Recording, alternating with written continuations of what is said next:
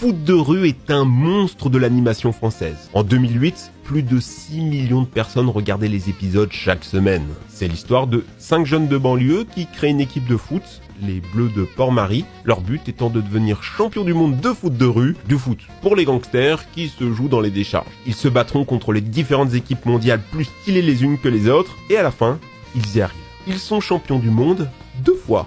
Sauf que dans le dernier épisode, le héros rencontre son père qu'il avait plus ou moins abandonné pour faire de la politique en Argentine. Sa motivation est ébranlée. Il décide de quitter l'équipe, de quitter ses amis pour rejoindre son papounet en Amérique du Sud.